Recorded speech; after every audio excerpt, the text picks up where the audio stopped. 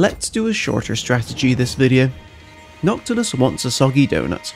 Let's help him with that, by killing Tyrion on turn 4.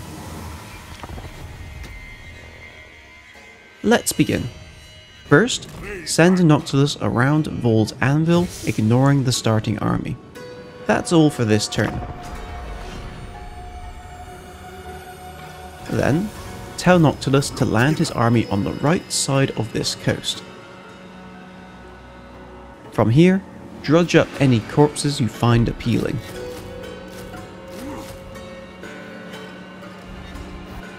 That's all for this turn.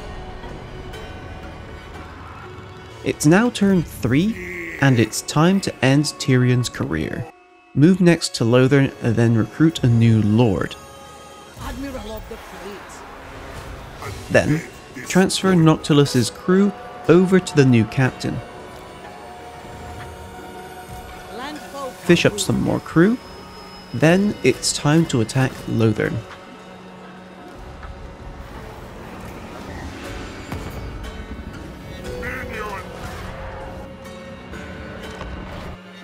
Welcome to Lothern. Noctilus will be the distraction this fight, while our new recruit makes their way through the back door. When the battle starts, get Noctilus to knock on the front door to get their attention. That's all. Make sure Tyrion doesn't get close to Noctilus.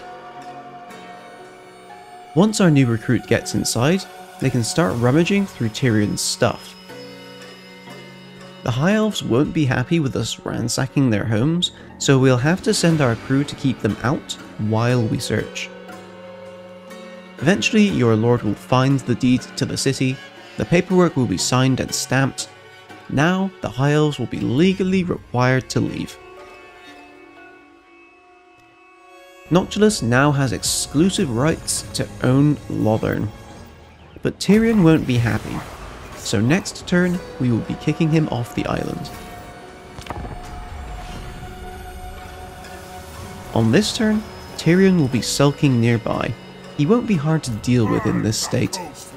From here, Noctilus and his second lord can attack Tyrion again and continue to take the Tower of Lysean, evicting him from the island, never to be seen again. With Tyrion gone, Noctilus will soon have that soggy donut he always wanted.